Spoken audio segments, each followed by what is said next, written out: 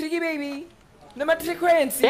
Hey Mzansi, welcome to Mzansi Scenes. So former ANC spokesman Carl Niehaus, who celebrated his birthday on the 25th of December, took to social media to appreciate his wife Noluthando Mdluli and family for their ongoing support. Carl celebrated his 63rd birthday on Christmas Day and in a post he thanked Noluthando. The politician, who tied the knot for the fourth time, shared his birthday and Christmas celebrations on social media by posting pictures of his wife and their son. He tweeted, Christmas lunch with my family, celebrating my birthday. A blessed Christmas to my darling wife at Noli Mdluli. Thanks for your incredible support through thick and thin.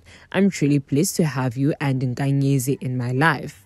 Carl, who is 36 years older than Noluthando, revealed he married her by paying lobola in November. This month, the politician made headlines when he announced his immediate resignation from the ANC after 43 years as a party member. This came after he was expelled from the ANC for misconduct. Alright, that's it for today. Thank you guys so much for watching. Please like, subscribe, comment down below, and hit the notification bell.